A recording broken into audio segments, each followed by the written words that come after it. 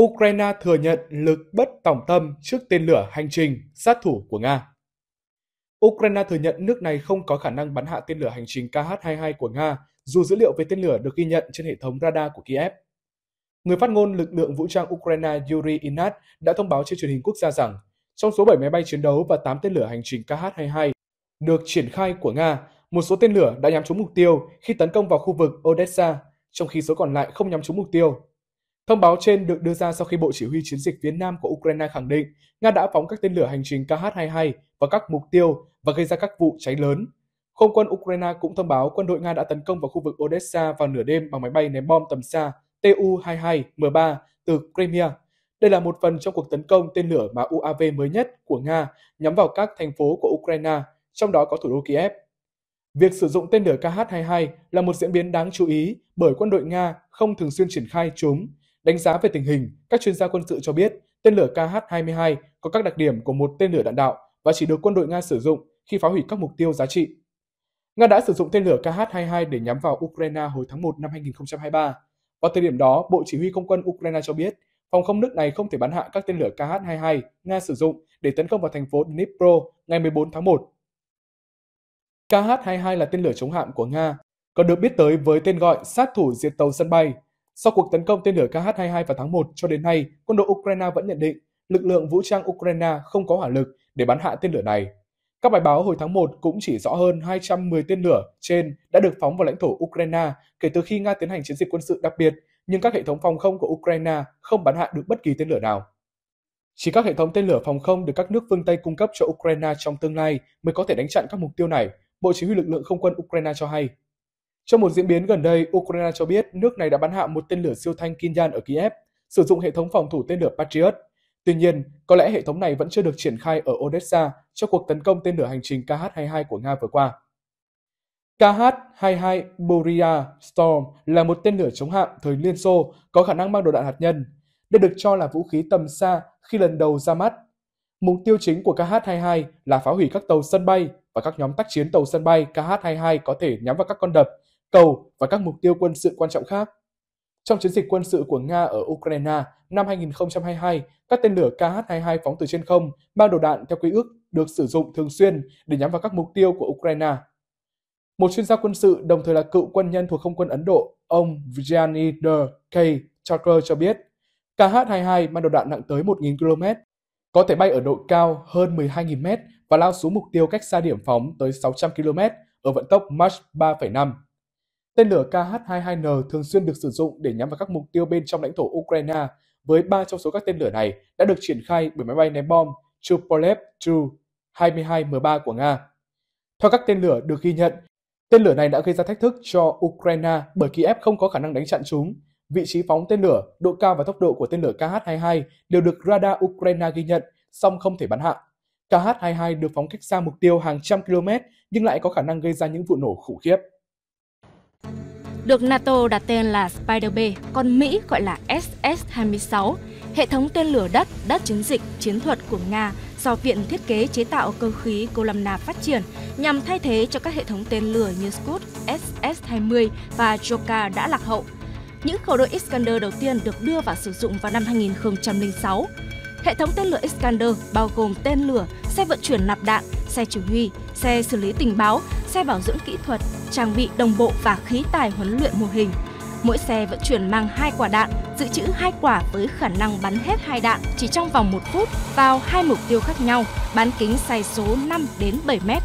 Tên lửa Iskander có 3 phiên bản, phiên bản Iskander E cho xuất khẩu, phiên bản Iskander M đang được quân đội Nga sử dụng và phiên bản Iskander K đang thử nghiệm Đặc biệt, tên lửa áp dụng công nghệ tàng hình và nhiều biện pháp kết cấu như lớp phủ đặc biệt sau khi phóng cắt bỏ nhanh bộ phận tăng tốc. Diện tích phản xạ hiệu dụng nhỏ, quỹ đạo bay phần lớn ở độ cao 50.000m, nhờ đó làm giảm xác suất bị các vũ khí đánh chặn từ mặt đất và trên không. Ngoài ra, do Iskander sử dụng động cơ đẩy rocket nhiên liệu rắn, quỹ đạo bay thay đổi linh hoạt nên rất khó phán đoán. Giai đoạn đầu, tên lửa được điều khiển bằng vector luồng phụt sau khi tăng tốc chuyển sang chế độ điều khiển khi lái cánh động.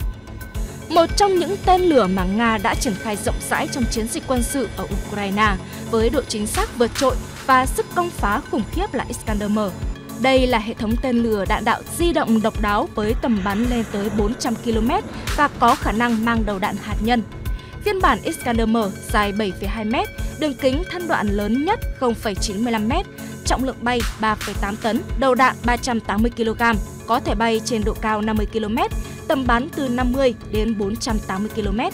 Iskander-M được thiết kế với một hệ thống cảm biến và tên lửa có thể nhanh chóng tấn công các mục tiêu xung quanh chiến trường. Iskander-M có khả năng cơ động nhanh ở giai đoạn cuối. Ngoài ra, hệ thống này còn có bộ gây nhiễu để chặn thiết bị dò tìm chủ động của đối phương. Sau khi chứng minh được hiệu quả trong chiến đấu, Iskander-M đã được chuyển giao cho Belarus vào cuối tháng 12 năm 2022. Trong khi đó, biến thể xuất khẩu Iskander-E đang được nhiều nước quan tâm. Biến thể này có phạm vi hoạt động 280 km. Ở giai đoạn tăng tốc và tiếp cận mục tiêu, tên lửa có thể thực hiện bay theo phương ngang cơ động linh hoạt, gây khó khăn cho việc bám sát và đánh chặn. Vì kiểu đường bay của tên lửa rất đặc biệt nên nó có thể chịu được sự quá tải. Muốn đánh chặn Iskander, các phương tiện chống tên lửa phải chịu được quá tải cao gấp 1 đến 2 lần. Đây là điều hầu như không thể đạt được. Theo đó, hệ thống tên lửa Iskander có thể sử dụng nhiều loại đầu chiến đấu khác nhau. Đầu chiến đấu kiểu mẹ con, đầu chiến đấu xuyên sâu và đầu chiến đấu nổ phá sát thương. Ngoài ra, còn có thể phối ghép với các loại đầu nổ khác. Thưa quý vị, vậy là quân đội Nga đang phải tung ra những vũ khí lợi hại nhất của mình trên chiến trường Ukraine sau hơn 3 tuần tấn công và bị quân đội Ukraine chống trả quyết liệt. Hôm qua, lần đầu tiên, tên lửa siêu thanh Kinza đã được sử dụng nhắm vào một kho quân sự ngầm lớn ở miền Tây Ukraine. Trong thông báo trên Facebook, Bộ Quốc phòng Nga tuyên bố đã phá hủy kho ngầm chứa tên lửa và đạn dược cho máy bay tại vùng Ivano-Frankivsk. Trước đó, nhiều tướng lĩnh Mỹ đã phải thừa nhận rằng nước này và đồng minh chưa sở hữu bất cứ phương tiện nào có thể đánh chặn các tên lửa siêu thanh của Nga. Ở thời điểm hiện tại, Nga đang là quốc gia dẫn đầu trong cuộc đua phát triển vũ khí siêu thanh giữa các siêu cường. Mẫu tên lửa siêu thanh đầu tiên được Nga đưa vào trang bị là Kinza, biệt danh dao găm từ cuối năm 2017. Bản thân Kinza là tổ hợp tên lửa tấn công tiên tiến, sự kết hợp giữa tiêm kích đánh chặn siêu thanh MiG-31K cải tiến và tên lửa siêu thanh KH-47M Kinza. Tầm tấn công hiệu quả của Kinza lên đến 2.000 km với tốc độ bay có thể đạt Mach 10 Tổ hợp tên lửa này của Nga được thiết kế để tiêu diệt các mục tiêu mặt đất và cả trên biển. Việc chọn MiG-31 làm phương tiện để triển khai Kinza không phải là sự lựa chọn ngẫu nhiên. Tiêm kích đánh chặn tầm xa siêu thanh do Liên Xô phát triển này có khả năng hoạt động trong mọi thời tiết và được xem là phương tiện chiến đấu không có đối thủ trong cùng loại. Ivan Konolavov, giám đốc Quỹ hỗ trợ công nghệ thế kỷ 21 cho biết, MiG-31 có thể cất cánh nhanh hơn các dòng chiến đấu cơ khác và có trần bay cao hơn hẳn, lên đến 25.000 m. Và ở trần bay 25.000 m, MiG-31 có khả năng tấn công các mục tiêu trên mặt đất và trên biển từ khoảng cách lên đến 2.000 km với tên lửa Kinza. Ông Konovalov nhận định, đặc điểm chính của tên lửa này là tốc độ và khoảng cách mà nó lao đến mục tiêu. Không có hệ thống phòng không hiện đại nào của nước ngoài lẫn cả Nga có thể đánh chặn các mối đe dọa từ khoảng cách 2.000 km. Cũng theo ông Konovalov, Kinza có thể tăng tốc lên khoảng 12.240 km/h và gần như không thể bị đánh chặn bởi hệ thống phòng không hiện tại. Vì để một tên lửa phòng không có thể bắn hạ một mục tiêu bay trên bầu trời, thì điều đầu tiên nó phải bay nhanh hơn mục tiêu và có thể thực hiện đánh chặn được mối đe dọa dựa trên quỹ đạo bay của nó. Nhưng về tổng thể, không có tên lửa nào có thể bắt kịp tốc độ của Kinza. Tên lửa siêu vượt âm đời mới của Nga có thể mang đầu đạn thông thường hoặc đầu đạn hạt nhân với trọng lượng lên tới 500 kg. Tốc độ siêu vượt âm cũng làm tăng sức sát thương của tên lửa. Một quả tên lửa nặng khoảng 3 tấn khi lao xuống mặt đất với tốc độ 3 km h như Kinza sẽ tạo ra một động năng cực lớn, tương đương với năng lượng của 4 tấn thuốc nổ TNT, có thể đánh gãy đôi một tàu chiến cỡ lớn mà không cần đầu đạn phát nổ. Mặt khác, Kinza là tên lửa tấn công kiểu mới, không bay theo quỹ đạo cố định mà có thể thay đổi quỹ đạo bay liên tục. Do đó các hệ thống phòng thủ tên lửa không thể tính toán được quỹ đạo bay của nó, khiến việc đánh chặn gần như là không thể.